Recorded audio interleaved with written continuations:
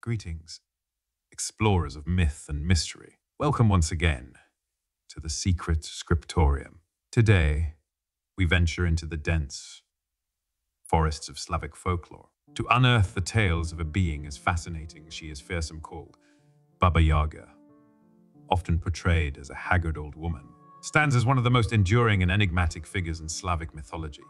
Her image has captivated the imaginations of generations leading to a complex narrative woven with strands of both dread and respect, renowned for dwelling in a hut standing on chicken legs, and traversing the skies in a mortar wielding a pestle. Baba Yaga is a figure of power and supernatural ability. Her dwelling, ever spinning, represents a place outside normal time and space, an entrance to the other world. Stories paint her as a fearsome antagonist. Yet, interestingly, she is also depicted as a source of guidance. Those brave enough to seek her might receive wisdom. If they can prove their worth or wit.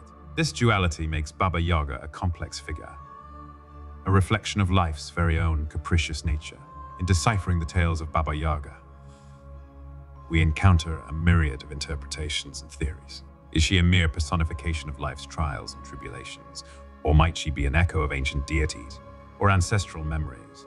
Deeply ingrained in cultural consciousness. A poem captures her essence beautifully. In shadows deep she waits and sees, the crone of tales and mysteries, with wisdom harsh and truths concealed. Through trials, life's scars are healed. As we conclude this voyage into the heart of Slavic folklore, we are reminded of the fascinating complexity of myths and their enduring power. Until our next adventure, within the boundless realm of the secret scriptorium.